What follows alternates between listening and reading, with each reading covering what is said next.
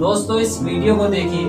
दोस्तों, ये वीडियो किसी यूरोप कंट्री का है। कैसे एक ईसाई लड़की, जो कि गैर मुस्लिम है, ना कभी इसने इस्लाम के बारे में सुना, ना कभी कुरान पाक के बारे में सुना। लेकिन जब पहली मरतबा इसके कानों में कुरान पाक की आवाज़ जाती है तो कैसे इसके जिसम पर कभी छा जाती है? दोस्तों, ज़रा इस वीडियो को देखिए।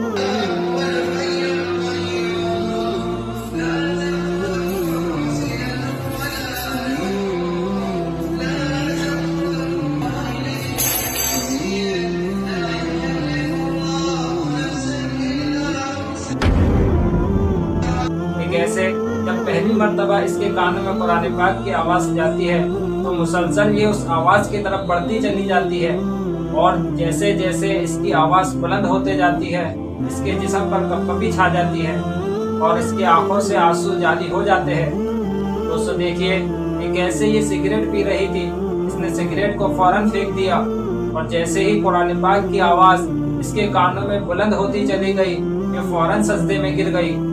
दोस्तों, बेशक कुरान पाक का फला हुआ मुआजा है, वरना दुनिया में हज़ारों किताबें हैं। दोस्तों, अगर इन किताबों को पढ़ा जाए या सुना जाए तो इन किताबों का दिल पर कोई असर नहीं होता। लेकिन वही अगर कुरान पाक पढ़ा जाता है तो सीधा ये दिल पर असर करता है। दोस्तों, बेशक कुरान पाक अल्लाह ताला की तरफ़ से नासिल करता हुआ कलाम पाक है। दोस्तों, ये किसी इंसान के लिखा हुआ कलाम हो ही नहीं सकता।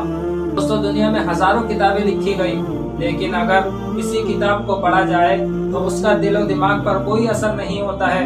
लेकिन वही दूसरी तरफ़, अगर कुरान पाक की तिलावत को सुना जाए तो दिल के अंदर एक नूर पैदा होता है, एक सुकून पैदा होता है, जो कुरान पाक उन मुर्दा दिलों पर सीधे असर करता है, जिनके दिल गुनाहों की नबूसत की वजह से सिया हो चुके हैं।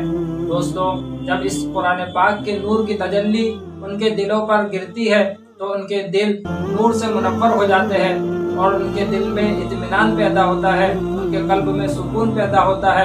और कुरान पाक के लफ्जों में वो नूर है, वो ताकत है जो उन मुर्दा दिलों पर सीधा असर करता है, जो गुनाहों की नबूसत की वजह से सिया हो चुके हैं। तो दुआ करते हैं कि अल्लाह ताला हमें सिरात मुस्तकीम पर चलने की तोफ़ी अता फरमाए और कुरान पाक की तिलावत करने की तोफ़ी अदा फरमाए। दोस्तों, अगर वीडियो अच्छी लगे तो वीडियो को लाइक करें और अपने दोस्तों में शेयर करें।